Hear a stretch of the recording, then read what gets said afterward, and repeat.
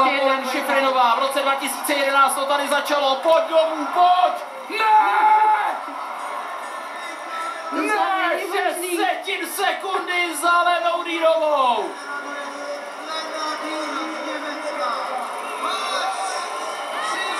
Myslím si, že už všichni viděli, eh, že tam ta 86 bude jako svítit, ale já si myslím, že tohle na tom je ještě to nejkrásnější. Prostě, že do poslední setinky nevíme, ale Lena, Lena určitě nevěděla.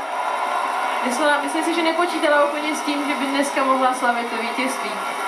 No tak to A je neuvěřitelný vývoj. to, že by Lena jela lépe ten spodní, tu spodní část, takže tam ještě Michaela těch 21 setin ztratí. Takže Lena Dýrová je oslavovanou ženou tohoto závodu. No ale i přesto si myslím, že uh, malý glob asi je jasný. Jasně, začněme tím, že vítězkou je Lena Dýrová, protože vyhrála svůj první slalom světového poháru v kariéře.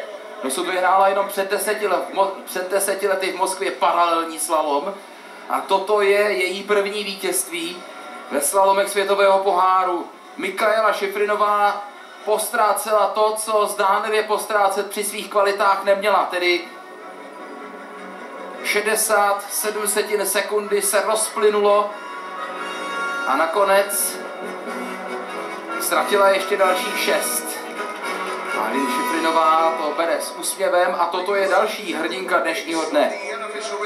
No a Lena Dírová poprvé v kariéře, pokud budeme počítat indiv- jakoby individuální disciplíny, ne paralelní city event, stojí na tom nejvyšším stupínku a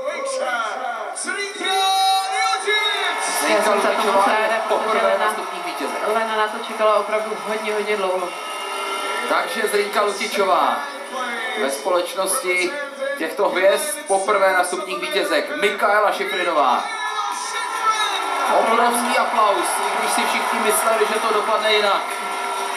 A pro Lenu si myslím, že to je ještě o to hezčí a o to hodnotnější, že opravdu Michaelu porazila. Ona ji porazila v součtu času. Není to o tom, že Michaela vypadla nebo udělala nějakou ohromnou chybu, že téměř vypadla, takže o to je to hodnotnější, že opravdu dnes byla nejlepší. Lena Rírová poprvé v kariéře vítězí ve slalomu světového poháru a teď se dostaneme k tomu, co si nakousla. Toto byl devátý slalom sezóny a do cíle nám zbývají už jenom dva. Jeden ve švédském Ore a jeden na finále světového poháru v Andoře v Soldeu.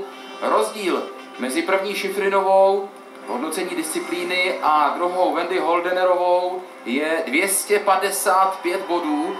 Na druhém místě je z 530 body také Petra Vlohová, takže Mikaela Šifrinová získává svůj 13. globus v kariéře, sedmý za slalom a je to první disciplína v letošní 57. sezóně světového poháru, která zná svoji vítězku.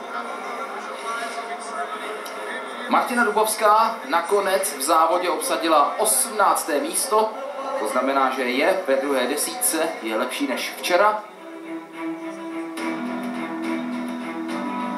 Jedinou Češkou ve druhém kole byla právě Martina Dubovská, která si polepšila v porovnání se včerejším závodem o tři místa.